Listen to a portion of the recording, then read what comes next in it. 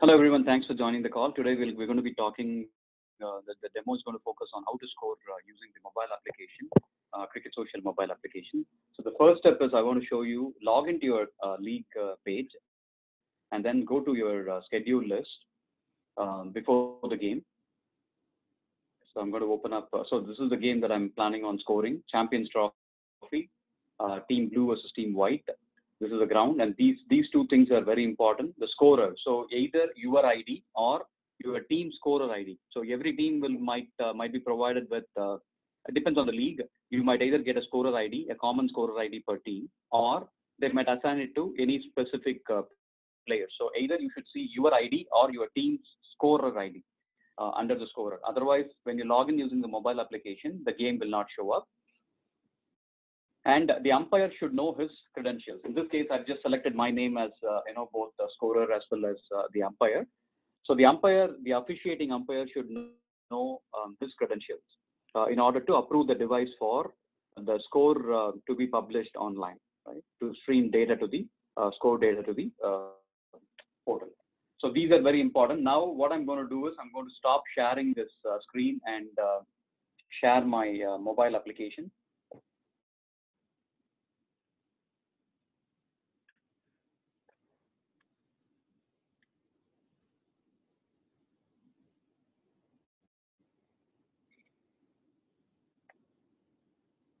So I've logged in using my uh, ID.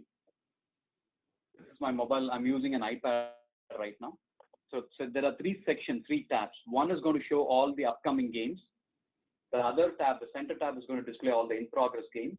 And the third, third one is going to show you all the completed games. See, at this point of time, since you're logging into this uh, mobile application, you should be connected to the internet. So this cannot be done offline because you need to sync your roster, right? Uh, some uh, mobile applications, uh, cricket scoring applications, it will allow you to enter names and stuff like that. Um, but then there won't be any data integrity in terms of, you know, you can enter anything. So, but since this is a league management system, this is tightly integrated with the league management system, you should be connected to start with. Once you sync your roster, you can actually go back to offline mode. How do you go back to offline mode is by just switching off your data plan. So right now, uh, there is no option to go on an offline mode from the application. But what you can do is you can always switch off your data plan of the cellular uh, data, and then you can do it on the uh, do it offline. So the first step is I'm going to this is the game. Go to the bottom. This is the game that uh, you know you have been assigned as a scorer. So I'm going to as the first step I'm going to be clicking on squad sync. This is going to display all the you know members from the roster you pretty much select uh, the playing 11. You can also select select your 12th man or 13th man, but you'll be able to play only 10 uh, or lose only 10. So going to be selecting the playing 11. You always have to click on this button to move to the next screen and select uh, um, the playing 11 for uh, team white. So this section is very important.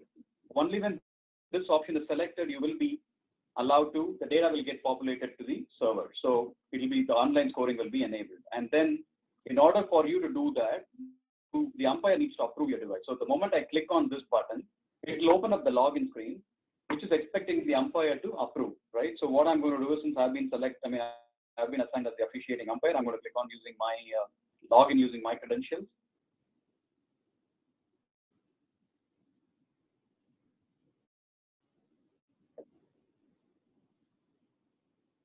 Okay, so the, now the now the device is authorized for live scoring. I'm going to click on OK. Now this one turns into green. Click on OK to go to the next screen. Here, if the game, if you want to end the game, you can click on End Match uh, and then select the appropriate option if there is a forfeit or you know walk over. So let's go back. Select uh, match details. The match type can be one-day cricket or 2020 uh, let me select uh, 2020 and then you can select n number of overs. You just want to complete the complete, you know, the, the entire game. So I want to select five overs. Click OK. Select uh, the next uh, step is to toss won by. Team Blue elected to bat. And then uh, the overs restriction, it could be two or whatever you want to give. Click OK and select the striker. Or let me select another striker. non-striker, then the opening bowler. You can also change the captain for some reason. If the captain is not playing, you can change it. Uh, select uh, the keeper. Then uh, click on start match. This is a So this one will display the scorecard. I'm just going to click on it. This will display the scorecard. The game has started. The moment uh, you have selected the you know batsman and the bowler, uh, it will um, not the bowler, just the batsman. Uh, people can uh, log in um, to I mean cricketsocial.com in the landing page. They can all the games that are going live will be displayed. They can click on uh, live score. Then um, this, this button will allow you to switch batsman. This button will allow you to change bowler. This button will allow you to delete the previous ball. This will, using this button, you can delete the previous ball of the current over. But let's say that if you are in fifth over, you want to go back and edit something in the first over, then you need to click on edit button, this button. Extras, all the options are provided, which I'll cover probably in the next few minutes. Wickets, let's talk about the action. Action. You can retire a batsman, you can switch batsman, you can change batsman. So for example, let's say that you select a team uh, player A instead of player B, you can go back at any point of time, you can go back and change the batsman name replace bowler, replace keeper is pretty much uh, you know uh, straightforward. But uh, the person who has been selected as a keeper will not be available for you to. When you're trying to change the bowler, the keeper's name will not be selected. So let's say that the keeper is actually you know is, is trying to remove his pads and trying to be a bowler, he needs to be removed. Otherwise, you will not be able to uh, select him as the bowler. So let's say that that in the fifth over, the keeper wants to change, he needs to change. When he changes, you need to make sure that you remove him and put the, you know, assign the new keeper. You can schedule breaks that can be noted, revise the equation. So let's say that you want to reduce overs or increase overs, you, you can do that. But I don't want to do it.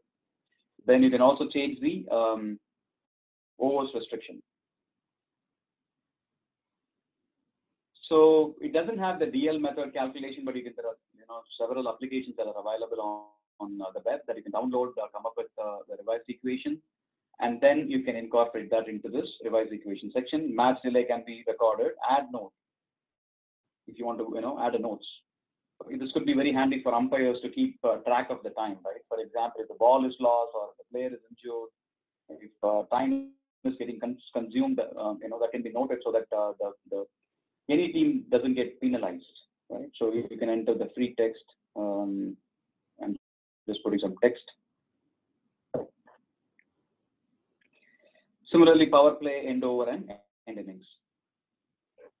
So now let me start scoring a dot ball and then a one run. So now the umpire declares that this is not a run. So you go back and click on this uh, delete ball, which will delete the last ball and it will reverse the batsman too. So now let me put zero, two runs, runs, three runs, four, three. Click OK. Note uh, second, select the next bowler. Dot ball three, two.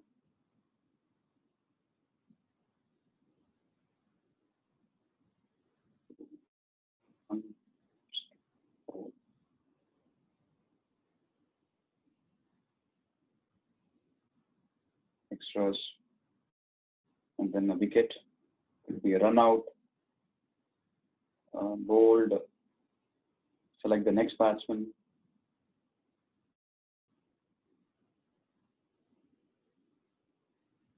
If you want to delete the ball, you need to actually delete it, you know, click no, go back to the over and then you can delete the ball.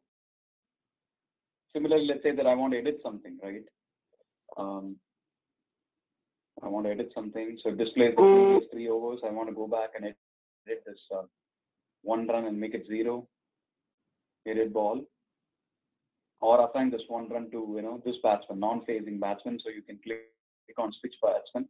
So the one run will be directed from Bhargav, and then it will be assigned to the non-facing batsman. Just switching batsman, click OK.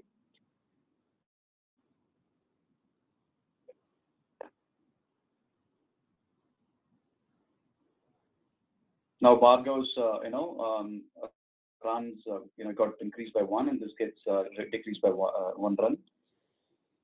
Then let me go ahead and you know complete the game, the innings, first innings.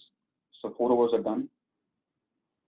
Okay, so the, the bowler has exceeded the maximum number of all overs, so pretty much go ahead and change the bowler.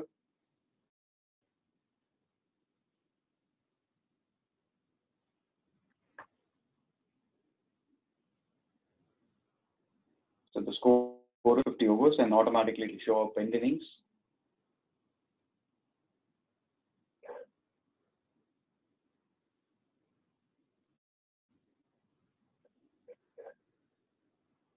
Then team blue, team white.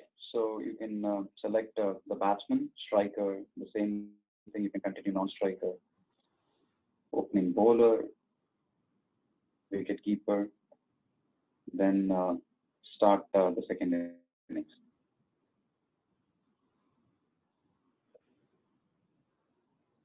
Same thing. I'm going to just try to finish this game to show you how to upload uh, the scores selecting uh, the second bowler.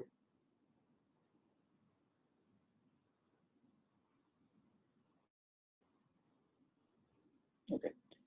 So pretty much they you know crossed that uh, 50 run mark. So end innings, click on end innings.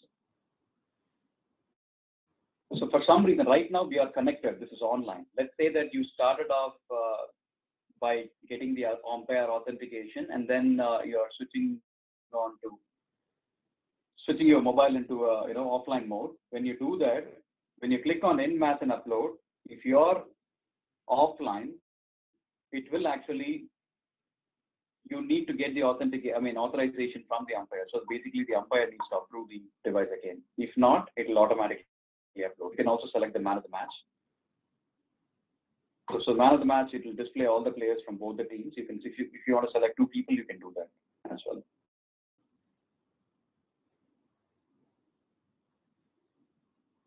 then click on end match. This will upload the score. And your game from upcoming upcoming tab, it would have uh, you know would do the completed tab. So you can click on completed tab. Go to the bottom. This is the game. By swiping from right to left, you can actually purge this uh, uh, game. So now this pretty much completes uh, how you can uh, score using uh, the CricketSocial mobile app.